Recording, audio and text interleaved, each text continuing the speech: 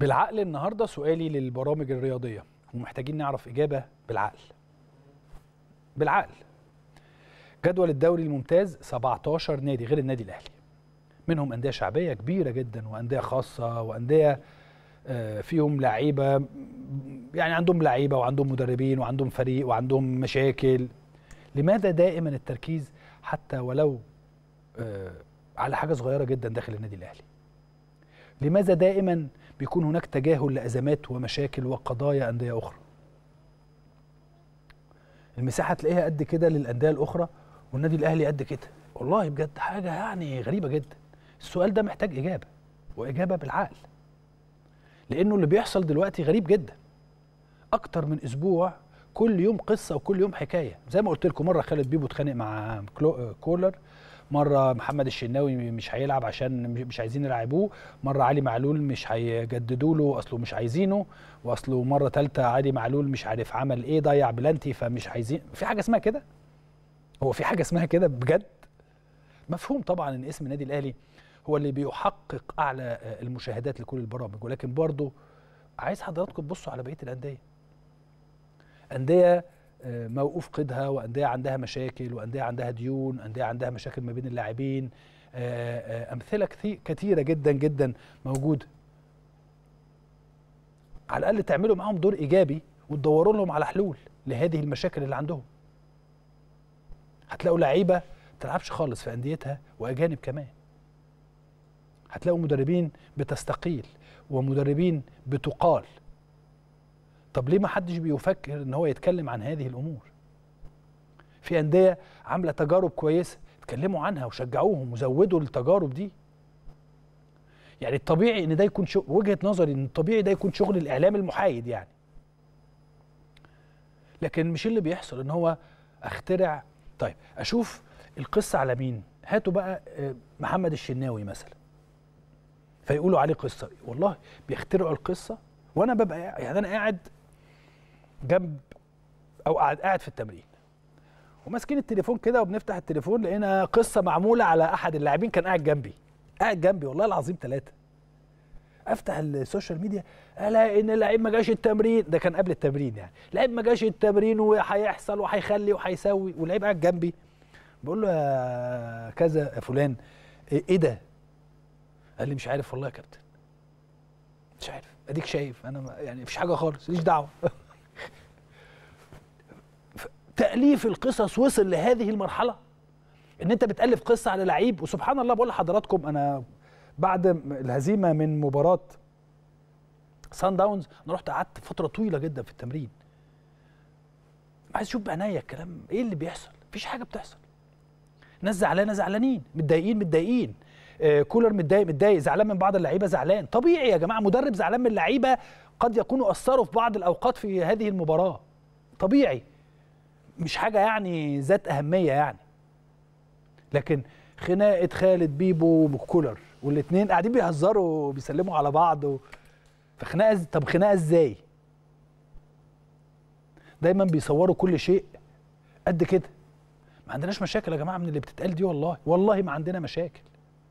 إحنا مش ملاحقين كل يوم نرد على إيه ولا إيه. كل يوم نرصد كلام غريب وإشاعات غريبة جدا. لكن لما بشوف باقي محتوى بعض البرامج البرامج آه طبطبة والدنيا لطيفة وحلوة. ولكن بلاقي التعامل مع أخبار النادي الأهلي آه بشكل والتعامل مع باقي الأخبار الأندية بشكل آخر. طب فين معايير التناول الإعلامي؟ ما حدش عارف.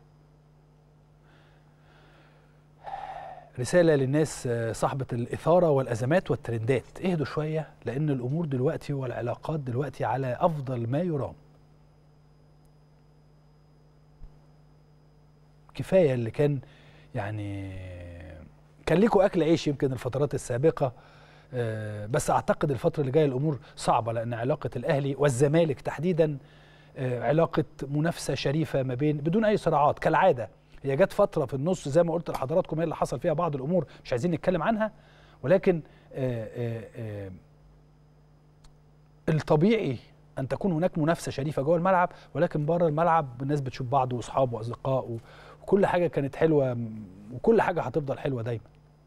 دليل على كلامي ده شفنا تهنئة مجلس إدارة النادي الأهلي لمجلس إدارة الزمالك بعد الفوز بالانتخابات. شوفوا الحلاوة والجمال وال, وال وال... والناس ال... ومجلس الإدارة المحترم مجلس إدارة نادي الزمالك. النهارده بينعي نادي الزمالك ومجلس إدارته برئاسة الكابتن حسين لبيب ببالغ الحزن والاسى الدكتور طلعت شتا كابتن مصر والنادي الأهلي السابق في السابق في كرة اليد واحد أبرز المدربين في تاريخ كرة اليد المصرية واللي ساهم في تدريب وتخرج أجيال كثيرة جدا. وفاته المنية أمس الأحد 5 نوفمبر 2023 وتقدم مجلس إدارة نادي الزمالك بخالص التعازي لأسرة الفقيد ولمجلس إدارة النادي الأهلي داعين المولى عز وجل أن يتغمده بواسع رحمته ويسكنه فسيح جناته. ناس محترمة أه واللي ما يعرفش يعني دكتور طلعت شتا دكتور طلعت شتا من من من المؤسسين الحقيقة لعلم كرة اليد الحديث وأمور كثيرة جدا جدا وكان له فضل كبير جدا داخل النادي الأهلي طول عمره واحد من أكبر الأهلاوية الله يرحمه كان له فضل كبير جدا جدا على كرة اليد المصرية وكره اليد في النادي الأهلي ودكتور دكتور طلعت شتا كان من الناس اللي الكبار في أحد البلاد خارج مصر يعني. وكان لما أي بعثة مصرية بتروح هناك كان يعني بيشيل البعثة دي على دماغه من فوق. والله العظيم ثلاثة هذا الرجل الواحد ياما شاف معاه أيام حلوة جدا الله يرحمه. ويظل دائما واحد من الناس اللي اللي هنفضل نتذكرها بشكل كبير جدا جدا. مجلس إدارة نادي الزمالك شكرا على هذه ال ال ال ال الكلام المحترم اللي حضراتكم اتكلمتوا عنه فيما يخص دكتور طلعت شتاء وتعزيتكم لأسرته ولمجلس إدارة النادي الأهلي. بنشكركم على هذه الأمور ولكن حاجة أخرى كل هذه الأمور بتدعو لشيء واحد هو ده الطبيعي اللي إحنا بندور عليه أو مش اللي إحنا بندور عليه هو ده الطبيعي اللي دايما بيكون ما بين مجالس الإدارات المحترمة ومجالس الإدارات الكبيرة. وجهة نظري إن اللي حضراتكم شايفينه ده من هذه العلاقات المحترمة ما بين الناديين الكبيرين سواء النادي الأهلي كبير مصر وأفريقيا أو نادي الزمالك هيعود على المدرجات خلال الفترة اللي جاية وهنشوف أن الجماهير في المدرجات لما تشوف الاحترام المتبادل ولكن المنافسة ناكل بعض جوه الملعب ناكل بعض رياضيا يعني جوه الملعب. واللي يكسب ألف مبروك واللي هيتغلب هنقول له هارد لك أتمنى طبعا إن الأهلي هو اللي يكسب.